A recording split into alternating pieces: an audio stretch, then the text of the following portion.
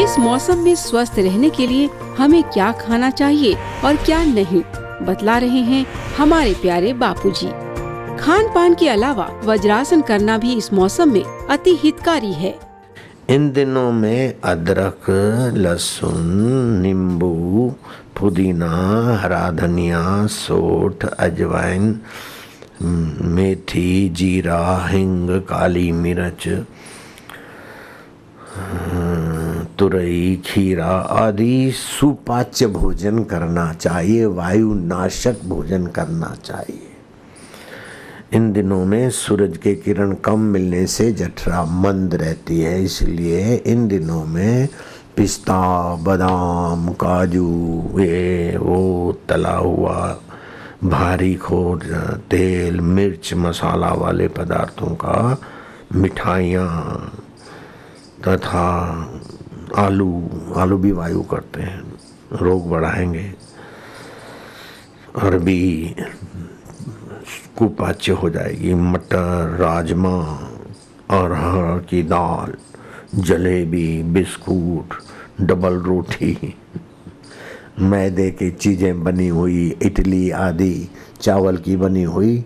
किसी से दुश्मनी हो तो ऐसी चीज़ें खिलाओ, वो बीमार पड़ेगा। लेकिन ना खिलाओ, दुश्मन का भी भला चाहो तो आपके पास भलाई रह जाएगी।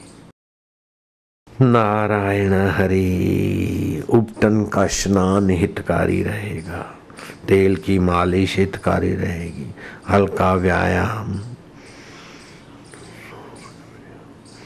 अग्निसार क्रिया, ये हितकारी रहेगी। स्वच्छ और हल्के वस्त्र पहने, ज़्यादा कपड़े भारी भारी ना पहने। देखो, बदल गया सीज़न तो। पैरवेश भी बदला हुआ देखो।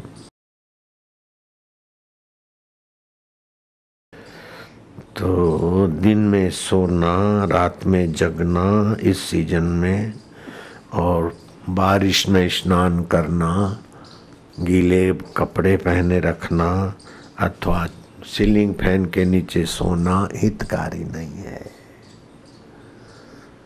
और पश्चिम के तरफ़ से एसी की हवा भी हितकारी नहीं है।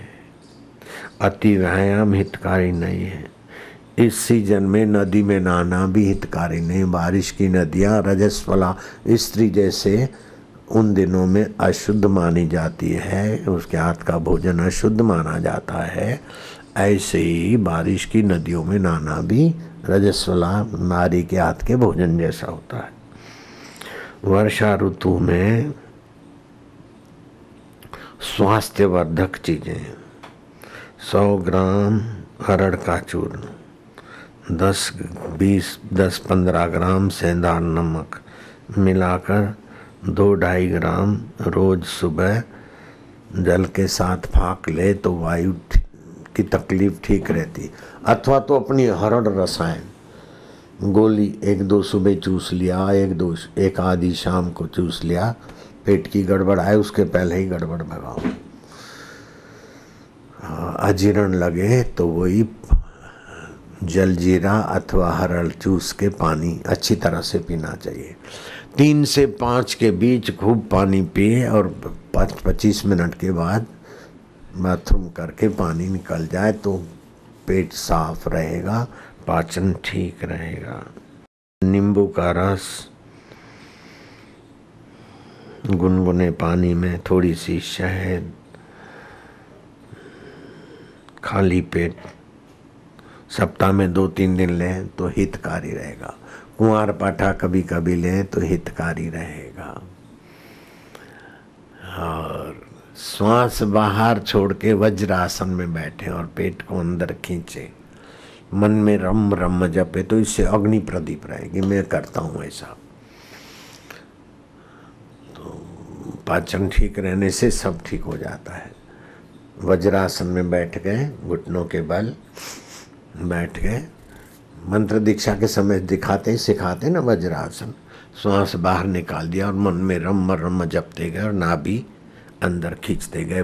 पच्चीस तीस बार खिंच जाए, उतनी देर श्वास रोक के रखे, फिर श्वास ले। फिर श्वास बाहर फेंके और रम रम जपता जपता जाए और पेट को अंदर खींचता जाए। हाँ। थोड़ा बहुत भी बेस बेस होगा तो सब ठीक ठाक हो जाएगा।